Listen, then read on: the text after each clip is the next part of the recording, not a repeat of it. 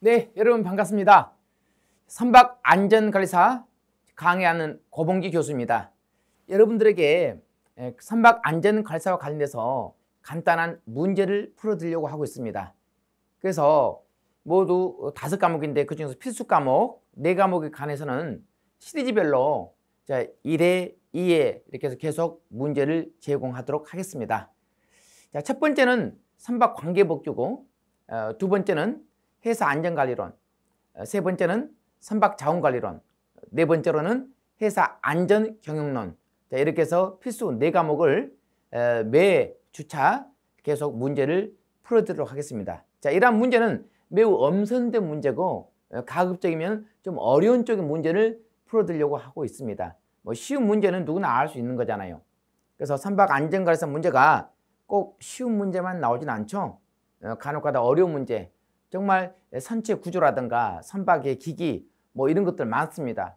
법과 관련된 부분, 국제협약, 솔라스, 마폴 뭐 이런 것들 어, 상당히 어렵죠. 어, 어렵기 때문에 여러분들 학습에 도움이 되란 뜻에서 제가 어, 풀어드리고 좀 더 열심히 공부하고 싶고 좀 더 깊게 공부하고 싶으면 여러분 교재를 참고해서 학습하는 것도 좋습니다. 그리고 우리가 시험 공부하게 되면 반드시 암기사항이 필요해요. 그래서 암기사항을 반드시 숙지하시길 바랍니다. 아, 그리고 좀 더 이해가 안 가는 부분은 어, 여러분 교재에 있는 또 보충 자료에 있는 학습 방법으로서 그 자료를 많이 올려놨으니까 그 자료를 꼭 참고해 주시기 바랍니다. 자 그러면 지금부터 선박 관계 법규에 관련된 문제를 풀도록 하겠습니다. 자 먼저 선박 관계 법규와 관련된 문제인데 자 1번 무역항우 수상구역 등이나 무역항우 수상구역 부근에서 선박의 항행을 방해하거나 방해할 우려가 있는 물건 그 물건을 우리는 장애물이라고 얘기하는 겁니다. 어, 장애물의 처분에 대한 사항이다. 자 바르지 못한 것은 자 이렇게 물어보겠죠. 공매 우리가 경매 공매 어, 공식적인 매각을 공매라고 하는 겁니다. 그래서 공매로 처분하지만 공매 외에 어떤 방법이 있다라고 나오면은 자 있을까? 이게 이제 수의 계약이라고 얘기하는 것입니다. 자, 그래서 공매가 원칙이야. 그렇지만은 어, 공매로 할 수 없는 경우 어, 변질되거나 빨리 처분해야 돼. 가격이 너무 낮아. 어, 그러면은 수의 계약 특징이 불러가지고 야 네가 이 물건 사라고 하는 것을 수의 계약이죠. 그러나 원칙적으로는 공매에 의하고 예외적으로 수의 계약에 의하는 것입니다. 그래서 자, 이 부분 맞는 지문이죠. 자, 반드시 공매로 처분을 한다면 틀린 지문이죠. 음, 공매가 원칙이고 수익 이야기 예외죠. 그래서 공매로만 한다면 안 되는 지문이죠. 그래서 1번은 맞는 지문이고. 그럼 강공서가 자 공매를 하려 하는 경우에 공, 공고를 해야 돼요. 그 강공서 게시판 또 인터넷 홈페이지에 예. 이것은 이제 일주일 이상 하는 것입니다. 10일까지는 가지 않아요. 그래서 일주일 이상 게시하는 방법으로 하는 것입니다. 그래서 이 것이 아니고 어, 7일자가 되겠죠. 음, 상당히 많습니다. 그러면 공고는 관리청 게시판에만 하면 안 돼. 인터넷 홈페이지도 올려야 돼.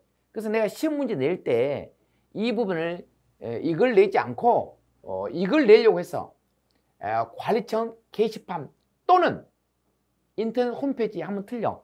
밑이 되는 겁니다. 자, 우리 선박 안전 관리사 시험에서 밑 또는 이 부분 가지고 함정을 낼 수 있는 것이 모두 60군데가 있습니다. 요거. 요것을 전부 다 분석해야 돼요. 그럼 두 번째로 이 숫자 장난치는 거 있죠? 숫자도 많이 나옵니다만 가장 중요한 숫자가 있어요. 그것도 한 100개 정도 됩니다. 그래서 예를 들자면은 1, 2, 3, 뭐 5, 10, 100 있죠? 그럼 요것만 관련된 거 숫자 따로따로 공부해서 외워두시면 좋겠죠. 어, 일자로만 되는 거, 또 100으로 되는 것, 선박 톤수와 관련된 부분 많죠. 그래서 그것만 따로 공부해가지고 암기하면은 이런 것들은 무조건 골라내는 거죠. 7자가 있는 것은 따로 다 있는 거죠. 10자가 들어가는 지문도 많이 있고 그래서 2번은 어, 틀린 답이 되겠습니다. 어, 이 1번 문제는 0.5초 안에 푸는 겁니다. 아 이거 어, 7인데 왜 10으로 나왔지? 그 다음 관리청은 공매로 취득한 금액 중에서 해당 물건의 제거와 공매 등에 든 비용은 등은 다 빼고 제외하고 남은 금액이 있으면은 바로 자 공탁하는 겁니다. 공식적인 유탁이죠. 법원에 공탁하는 거죠. 음. 공탁도 의무적으로 해야 돼요. 어, 공탁 할 수 있다면 안 되는 거죠. 공탁 해야 한다라고 나와 있습니다.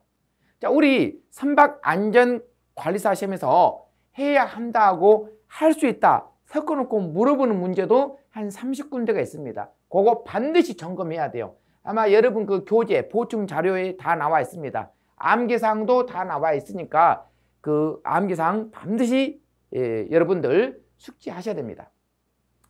관리청이 장애물을 보관 및 처리하는 경우에는 장애물을 원형 상태로 보관한다. 이 질문은 그렇게 중요한 질문 아니죠. 그래서 1번, 2번, 3번, 4번 이렇게 쓸 때 문제는 어, 거의 한 30초 안에 빨리 정답을 찾아낼 수 있는 그런 능력이 있어야 돼요. 앞으로도 이런 문제가 계속 나옵니다. 법 과목은 어디까지나 글씨 가지고 찾아내는 거니까 그 부분을 중점적으로 여러분이 공략을 해야 돼요. 그래야만 득점이 되는 것입니다. 득점이 되면 합격할 수 있겠죠. 자 이렇게 해서 어, 선박 입출항과 관련된 1번 문제를 풀어봤습니다.